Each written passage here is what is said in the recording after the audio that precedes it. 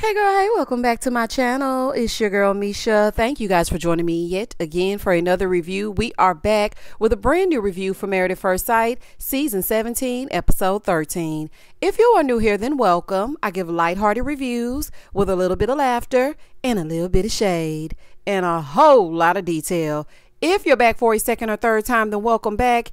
Y'all, please don't hesitate to like, comment, and subscribe to the channel. Share with a friend. Hit that notification bell so that you will be updated each and every time I upload a video. Now, y'all, let's get into it if we're going to get into it. Four days until Michael and Chloe's wedding. So, Chloe is just telling us in her little, you know, cam that she's excited and she's hopeful. Ah, good luck, girlie. Becca and Austin. So they're going to build a exotic arbitrarium or something like that, child. I don't know. They were going to do something where they build little mini greenhouses or something like that. I don't know. It was giving nothing. Austin says that Becca is a sex vixen, so he wanted to give her, her those little adult trinkets. I'm sorry, y'all, but nothing about Pink says sex kitten to me. Now she may want to get it on, but I don't see sex kitten. I don't get I don't get that from her. I just don't get it. So they're sitting down, they're building these things, they start talking about sex. Let's talk about sex, baby. Honey, shout out to Salt-N-Pepa.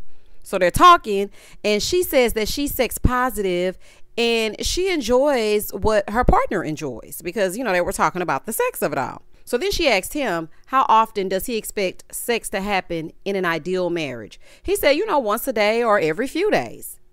I think Austin doesn't want to get intimate in case he can't say yes on decision day. That is what I think. And I think some other things based on this conversation that they had. Because as they're talking about the sex, he starts to talk about pegging. And I said, say what now? There's no reason. And baby, she wasn't opposed to it, okay? Moving forward. Then we see Cameron and he's telling us about the procedure that he's about to have. He said he really doesn't want to reach out to Claire. He just wants to leave her out of it. This is something that he has to go through alone. Now, I am very sorry that he has to go through these things, especially health wise, because I know that has to be scary. But for me, something about Cameron gives manipulative. It's just the way that he omits things. But I do wish nothing but a successful surgery. I hope everything went well. And I hope that he makes it out. Emily and Brennan. So, child, it's another tension filled day in the shared apartment. So he's asking her how she felt about last night. You know, when he was about to pass out in the hot tub. And she was like, I mean, I didn't feel like you were going to faint. And I just snapped because, I mean, you won't answer any questions and your actions make me feel bad. So he was like, Well, you know, I'm sorry. I'm going to work on my delivery. It's going to get better. Yeah, right. I only believe that you're saying that to not look like a douche on national TV. And you ain't fooling me. You keep doing the exact same thing. Then you turn right back around the next day and apologize for it. It's giving emotional abuse. You cannot keep doing the same things. The definition of insanity is repeating the same thing over and over and expecting a different result. And Brennan, that is what you like to do. So they sit around, they kind of squash things, and they write letters to their younger selves. So she reads hers first. She spoke to her high school self and how her dad pushed her and it made her who she is today. He reads his to his teenage self. So he talks about how he shouldn't be in a rush to grow up and not be too hard on himself and things like that. So then Brennan tells her that at 13, while everybody else was out being teenagers and having a good time, he was getting advice from his friend's dad. Now, what stuck out to me is both of his parents were in the home. So I'm wondering why he didn't get advice from his own daddy. But he said that he was getting mentorship from one of his friend's dads. He said that he wished that he would have spent more time being a kid and that may explain his childish response to things that he doesn't like. His emotional maturity is stunted.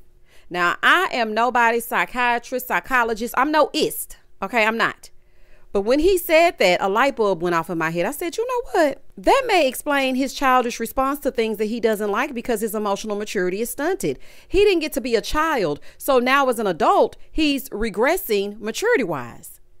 So he don't know how to act. He really just does not know how to act. Now, I don't know what that daddy was mentoring him to do or be, but it definitely wasn't to be a stand up guy when you're in a marriage. These two are just hard to watch, y'all. They really are. They just do the exercises to get through it. They don't care about each other at all. They never have follow up questions, follow up conversation. It's just weird. 22 days until decision day. So Claire said Cameron said that he's doing okay and she's relieved because she was so worried about him and she wanted to let him know that he has her support and it really means a lot to her to know that he's okay. In the next scene, oh Lord, they all getting together again. I hope they hold the tears. And I hope they X out that episode of Orion going back over there trying to get Lauren because I realized that that episode was supposed to come up sometime soon and we haven't seen it. So I am just hoping that they will axe that episode and spare Lauren because we don't want to see Orion, baby. We don't give a damn. Anywho, only two and a half men are standing because we have Brennan and we have Austin. And Brennan has one foot on decision day. Baby, he can't wait to get to decision day. If he didn't fear looking crazy on television, he would say that today was his decision day. But here we are. Over on the other side, the ladies are talking, and Emily is telling them that her and Brennan talked things out, so now they can kind of move on. So Becca said, Girl, I got to give you some props. Because, I mean, you going through it and you still sticking in there. Emily talking about, Well, I'm an optimist. Girl, an optimist. An optimist or a fool. Because there's no way I would deal with Brennan in any capacity. You couldn't pay me. And I know they get a hefty stipend or just a stipend, whatever it is. Absolutely not. She's like, Yeah, I'm an optimist and I'm just riding the wave. Well, girl, the waters are too choppy. Get off the wave. Get off. Get off the wave. Just imagine looking back while you're riding the wave and hearing shark, honey, and run. Okay, because there ain't no reason that you should be hanging out with Brennan. Meanwhile, Brennan is pretending to Austin that everything's all good. Yeah, we're doing great. Everything's fine. Oh, we're great. Worked some things out. Got in the jacuzzi. Um, sir, everything's not fine. Back with the ladies, Becca is like, Yeah, I mean, who would have thought nobody would be getting any in their marriages? And we're like a month and a half in. Y'all know who Becca reminds me of? Becca reminds me of Claire from season 12. Y'all remember she wanted to have sex with Ryan so bad, but Ryan was giving chastity belt. Y'all remember when Ryan would get in the bed with a full on basketball outfit on? Shorts, shirts, everything. Baby, Ryan was not giving it up. And then later on, they did an interview and said they lied about the no sex, but I think they lied about the line. These two are not fooling me still to this day. Okay, even though they're divorced and moved on and season 12 is in our rearview mirrors, Claire and Ryan lied to my face season 12 after season 12 in today's date. Moving forward. So Austin is over there telling Brennan that Becca moves a little faster than he does. Yeah, it's giving the tortoise and the hare. Okay, and the hair is pink. I'm not understanding why you moving so damn slow. Now, don't get me wrong. We have to respect men when they don't want to be in a rush. If this were a woman, we would say, Oh, no, don't let anyone rush you in, into doing something that you're not ready to do. She just doesn't want to do it. So I'm going to extend the same grace to Austin. But what I'm trying to figure out is why you keep on bringing up that pegging. Now, that's what I'm trying to figure out. Because that's not moving slow type, type of talk. It's just not. Something in the buttermilk ain't clean. But y'all ain't heard it from me. Moving forward. Over on the other side, Claire is telling the ladies about Cameron and how she feels like they were put together for her to be there for him and here comes the tears. I said, Ooh, child, we almost made it through without somebody crying. She wants to live out her vows, but she doesn't want to hurt him like she's done. She doesn't want to hurt him any further. Ma'am, there's no way to live out your vows. You're talking about in sickness and in health till death do us part. You forgot about the death do us part? You're supposed to stay married to live out a vow? Claire, goodbye. Now, I really do hate that Claire is beating herself up the way that she is it's very nice of her to be there for Cameron because it seems like Cameron is alone a lot. He down there in that basement with his chosen family. We don't know much about his real family. He told Claire that they were going to have this wedding so that his family could see it, but then all of a sudden his dad was sick. Is something missing? So I'm glad that she can be there for him in that way. So while they all doing all that, Michael shows up and he's telling them that he's getting married. So they're like, "Oh yeah." We're going to tell her, you know, how great you are and how you've longed for this, and we're going to have your back. Now they doing all that talking when in reality, baby, she does not even know this is his second chance at romance. That is why I feel like Dr. Pepper should have told that woman, listen, this is Michael's second go round. The first bride got cold feet. And so we felt that after going back into our log that you would be the best candidate for a man like Michael. Both of you are deserving of love. You have several things in common, and we feel like this could be a boost to his self esteem and just the match that you need. Not, I don't want to tell her. because she's going to probably, you know, go in kind of biased and then everything would fall apart. No, Dr. Pepper, you're doing that because you don't want her to know that you guys failed and you have a failure rate of about 90%. That's really what this is about. You should have told that lady because that's not fair. You don't let her walk into something unbeknownst to her. And now all these people gonna bum rush her like, oh my gosh, Michael got a second chance and you're it. And she gonna be like, what? I don't know, ma'am, honey. So Michael invited them to the wedding.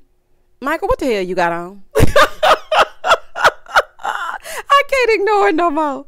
Michael, I like you, but what are you wearing, my dear? What is it? It looked like a thrift store threw up all over you, honey. And I like Michael, but baby, that outfit right there is a fool. Brennan. So Brennan is video chatting with his best friend, Richie, trying to get some advice. Brennan, why are you playing on this here TV? You don't want advice on how to keep things going because you don't want to keep things going. You don't want anything to do with Emily. So his friend is offering sound advice, but I feel like it's falling on deaf ears. Brennan seems like a robot to me. Very emotionless. It's it's it's you get nothing from him. So he's telling Richie, you know, Emily is the best person that I've ever met. She's amazing. I'm really hoping that the romance is going to come. Sir, what are you talking about? You are a very scary individual.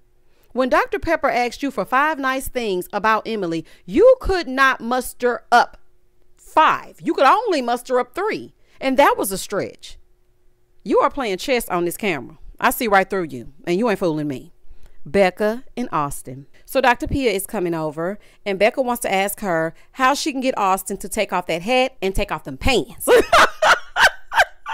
Baby, let's get down to it, okay? Ain't nothing to it but to do it. So Dr. Pia arrives. Hey, girl. And so she sits down. She's asking them about intimacy. So Austin is letting her know, you know, I've been a little bit slower than anticipated, but it's really all on me. It is. He says, you know, I typically just like to move slow. A couple of times, you know, we rolled around and whatnot, but we didn't go all the way. So Becca said, I'm just not used to feeling like I'm less attractive or less desirable because my past partners didn't make me feel that way. So he's like, No, no, no, it's not that. I do desire you. She's like, Yeah, but you're not showing it.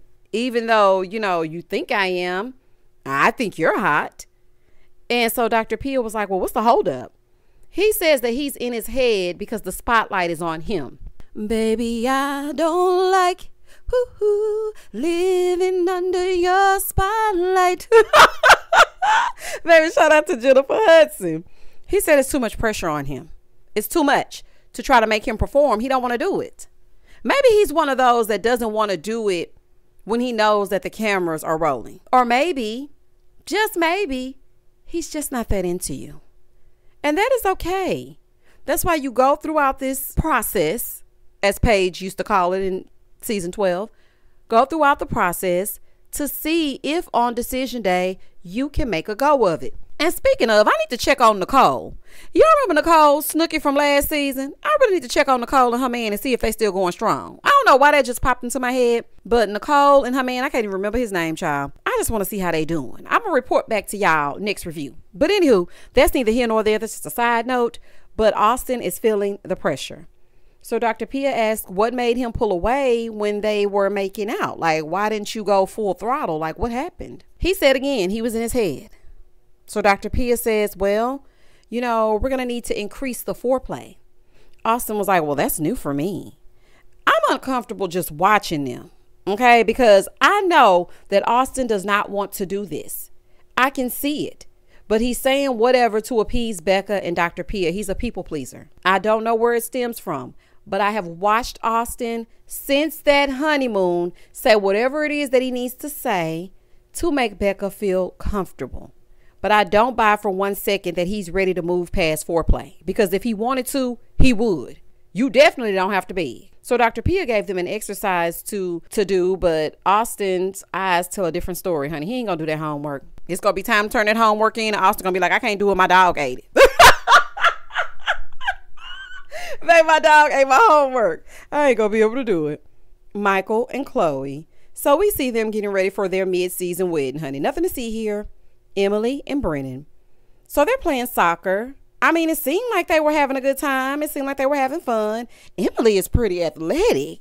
She was tearing Brennan up on that soccer field. Do you hear me? I said, get him, Em. So after she gets through kicking his butt, they sit down and Emily is telling him, you know, she got good at soccer with the help of her dad. And so Brennan was like, you know, I can relate. I too was bad at this, but then I got a little bit better. And yeah, I mean, I was good moving forward. So they both have soccer in common. Y'all, now I know it's been cold all over the world this week, but hell must have frozen over because these two are actually being tolerable for once. And they're having a great conversation and not just looking at each other. Because I was like, what's happening? I can't believe they're actually talking. A conversation requires you to bounce things off of each other. And oftentimes, he says what he's going to say, silence. She says what she's going to say, silence. But today, they were talking to each other, Becca and Austin.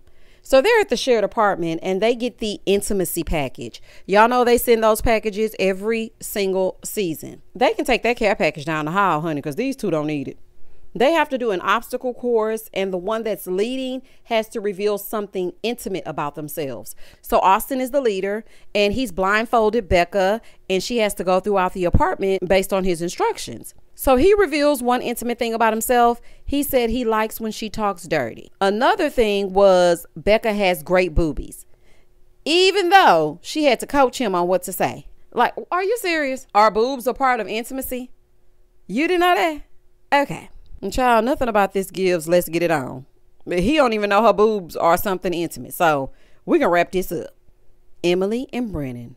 Uh-oh, Dr. Pia is back. And we all know what that means. And we know Brennan wants to run and hit that balcony and jump over it and go down to the first floor because he does not like Dr. Pia. They sit down, they start talking. Emily starts telling Dr. Pia what's been happening, and Brennan is getting pissed because he's trying to control the narrative. See, he didn't think she was going to go rogue. He was like, What are you doing? Like, what are you saying? Because he was like, Yeah, everything's going great. We've been really talking. We've been getting better. Emily was like, Uh, no. Okay. He ignored me and he hasn't been talking. He hasn't been doing anything that he's supposed to be doing. He's like, Yeah, I mean, we've even been hugging. She said, Well, us hugging was his idea. Well, baby, what she say that for?